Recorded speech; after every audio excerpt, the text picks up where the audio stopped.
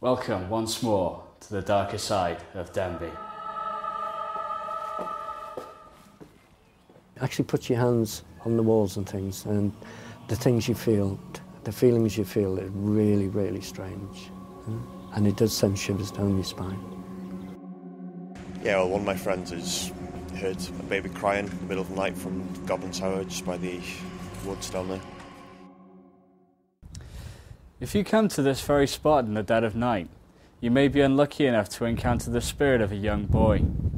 For it is at here, at Goblin Tower, that the son of Henry de Lacy would watch in awe at the construction of the castle. His enthusiasm, however, was to be his downfall, as he plummeted from the tower to his death. It is said, though, that his face still peers from these windows, agonizing over his untimely end. His youngest son uh, was actually killed at his castle in Pontefract, where he fell from the battlements chasing a ball. And his second son, Edmund, actually fell from the top of the tower, falling not only down into the tower, but right down into the base of the well to his death. And it's been said for years that um, people have said that they see a young boy's face in uh, one of the window sockets around the tower here, uh, looking very, very sad and dejected.